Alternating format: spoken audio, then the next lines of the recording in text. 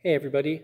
It's Wednesday after the 16th Sunday after Pentecost, and that means it's time for another Wednesday Word.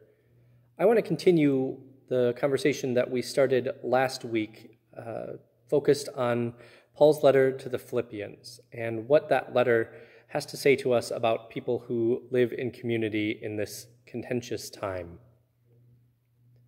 The reading for this upcoming Sunday comes from the second chapter of Philippians, and it focuses primarily on what it looks like to live in community in a way that imitates Christ's example. It includes one of the most important texts from the New Testament period in verses 5 through 11, uh, which is often called the Christ hymn by biblical scholars.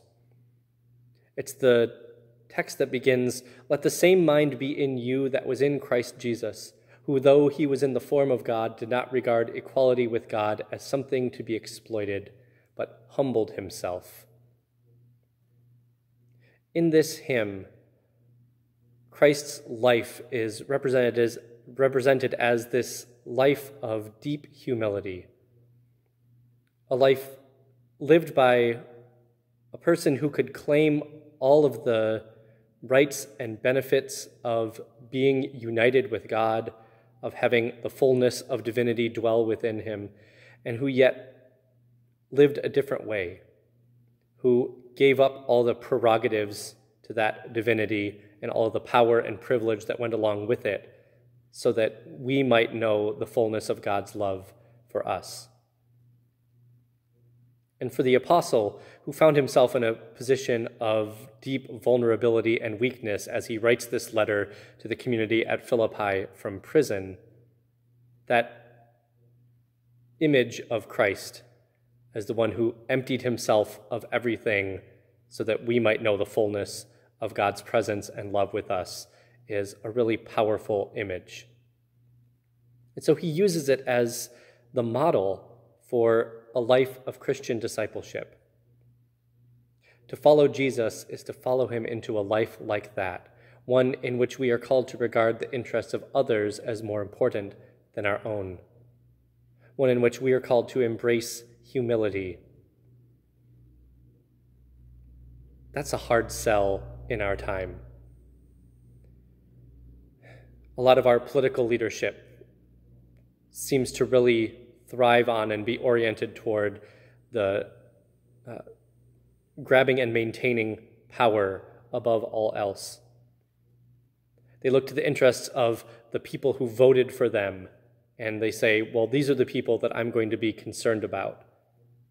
And not even for their own good, but so that they'll continue to support me and to allow me to have the power and privilege that I've come to enjoy. Paul shows us a different way of living in this letter to the Philippians. And he calls the Christian community at Philippi, and by extension, those of us who read that letter in the centuries to follow, to embrace that different way of living and being in the world. He calls us to seek unity of mind and purpose, and to ground that unity of mind and purpose in the sort of humble living that regards the interests of others as more important than our own. For Paul, this is the core of what it means to be a follower of Jesus. And for Paul, that example, following that example, is one of the most profound witnesses to the difference that Christ can make, not only in our lives, but in the world around us as well.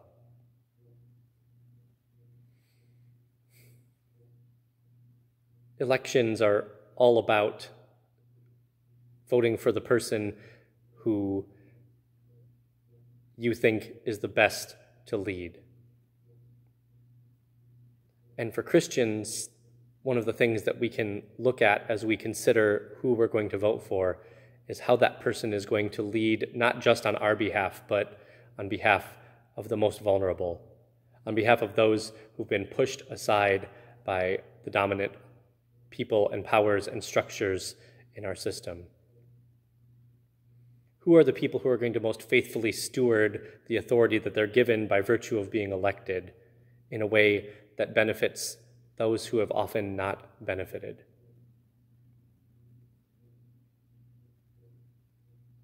This is not a partisan message.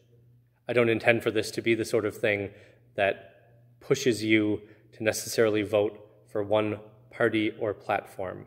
But I do think it's important for us as Christians to consider the type of leadership that we want to see and to consider who is going to benefit from the leadership of the people that we place in positions of authority.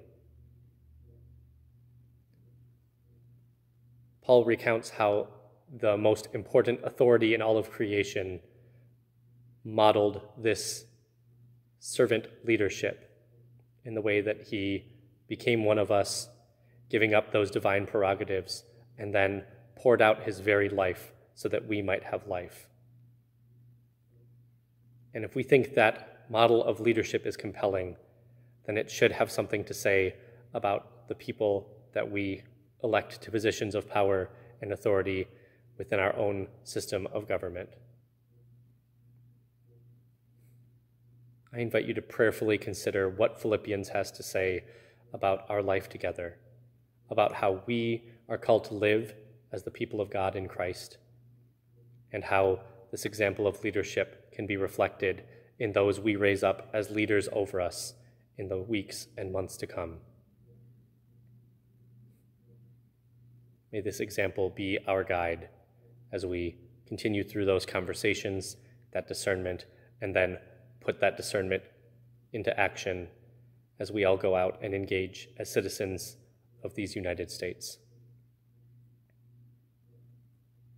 I will be in prayer for you, as I said last week.